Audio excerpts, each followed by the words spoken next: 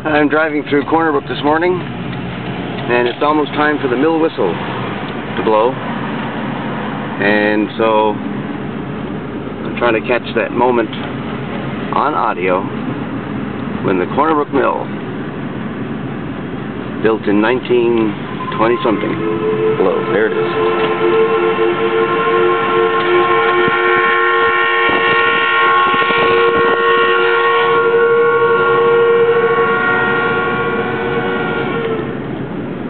That was the mill whistle blowing at 8 o'clock on August the 14th, 2009.